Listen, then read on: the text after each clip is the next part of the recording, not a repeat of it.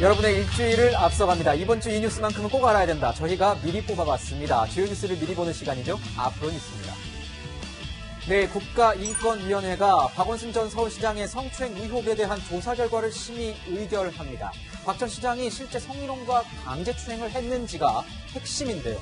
앞서 경찰이 5개월간의 수사에도 불구하고 명확한 판단을 내리지 못한 상황에서 성추행 정황의 실체를 두르고 인권위는 과연 어떤 결과를 내놓을지 관심이 쏠립니다. 자, 모레부터 미국산 수입 신선란 무려 60톤이 공매 입찰을 통해 국내에서 유통됩니다. 아, 최근 조류 인플루엔자 때문에 달걀값이 많이 오르면서 달걀 구매 수량을 제한하는 곳도 생겼는데요. 설 명절을 앞두고 치솟은 달걀값이 진정될지 함께 보시죠. 코로나19 백신 도대체 언제부터 누가 먼저 맞는 건지 궁금하신 분들 많을 텐데요. 이번 주 목요일 정부가 구체적인 백신 접종 계획을 발표합니다.